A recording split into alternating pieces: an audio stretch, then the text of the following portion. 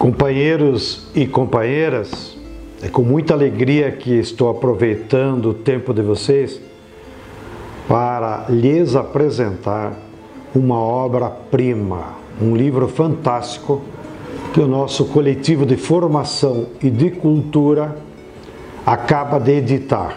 Vocês sabem que a história de um povo ela fica registrada em muitas formas, nos jornais, em fotografias, em depoimentos, em filmes e também em cartazes. O que, que a nossa equipe fez? Ao longo do ano de 2018, nós recolhemos cartazes da luta pela terra que estavam dispersos em diversos movimentos e organizações, como a Comissão Pastoral da Terra, o IBASE lá no Rio, a FASE, aqui em São Paulo, CPV, Centro Pastoral Vergueira, que tradicionalmente cuidou da memória do movimento operário, na Unesp, que tem um centro de memória do CEDEM. Juntamos tudo isso. Deu 1.600 cartazes. Imagina o volume.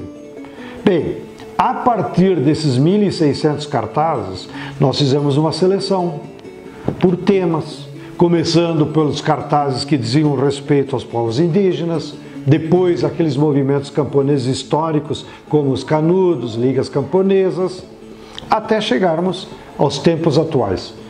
E esses cartazes registram então a memória histórica da luta pela terra, da luta por território, da luta pela reforma agrária, desde 1975, quando surgiu a CPT, e ressurgiu a luta pela terra, ainda com a ditadura militar, até o ano passado. Bem, nós condensamos essa seleção em 300, 400 cartazes. Aqui estão, olha que maravilha.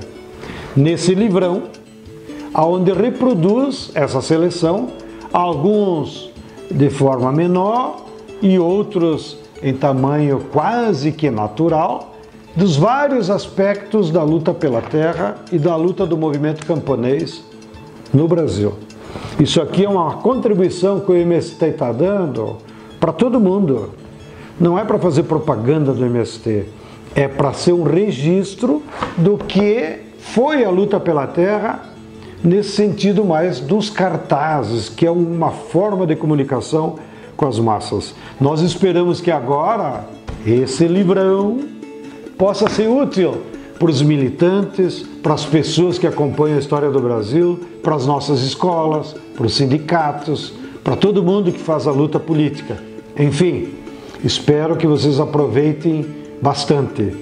E vocês podem ter a visão completa do que foram esses quase 50 anos de luta pela terra no Brasil de uma forma ilustrada nos cartazes. Um bom proveito!